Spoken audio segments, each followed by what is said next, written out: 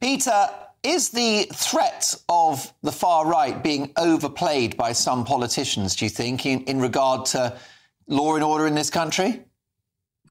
The expression far right is now being used very lazily, I might hasten to add, and often very inaccurately to describe anybody who harbours concerns about perhaps the rise of Islam or who is deeply concerned about unfettered migration into our country from people on small boats who we simply don't know who they are and where they've come from. Now that label is pinned on anyone. And what it is, is an assault on free speech. So that if people were, were to be heard in public having such a conversation and expressing their concerns, they might be frowned upon. And that conversation would be ended. It's inaccurate, it's lazy, and it doesn't apply to millions of decent, law abiding, concerned British citizens.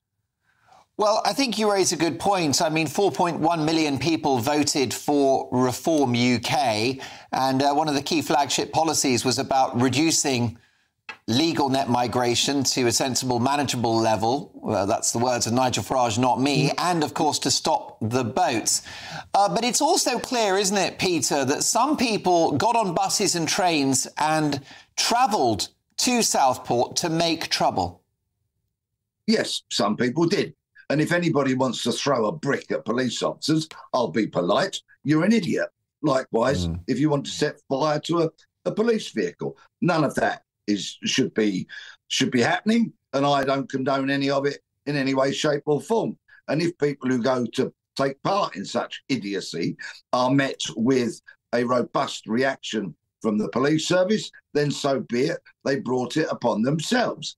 But let's remember, much of this disquiet that sprung forth in Southport was because a mischievous player put it out onto the, to the internet that uh, completely false information about the person believed to be connected in this attack.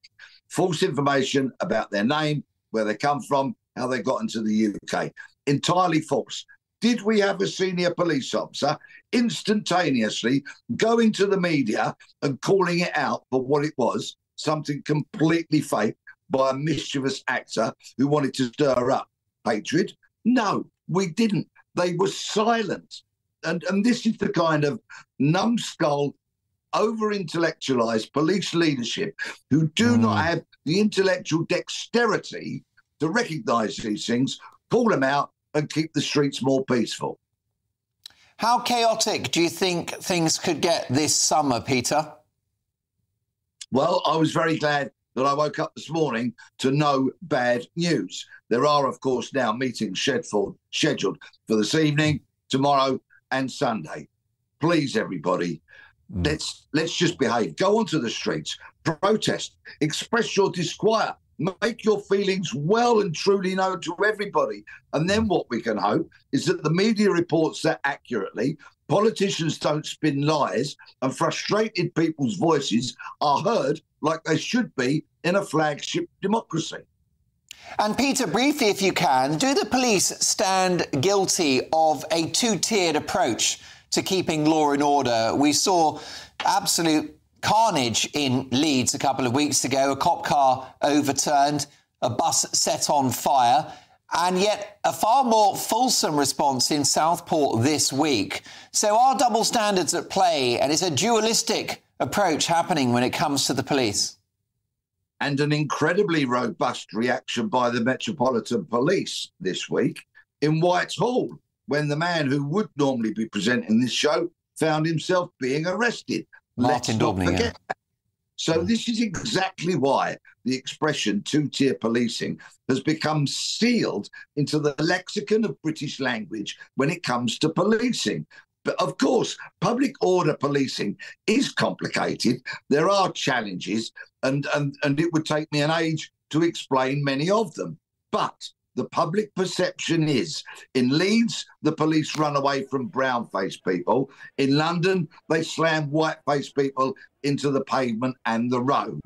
And that, of course, causes disquiet because it's inconsistent and people are going, what's really going on here? Can, you really make that distinction based on skin colour? I mean, it was a diverse group in Leeds. It wasn't only uh, people of uh, black and minority ethnic background. Uh, there were white people involved in the trouble as well. Is it really about skin colour, Peter? That's how some people perceive it, and that's exactly what I said. Um, that's when people perceive it that way.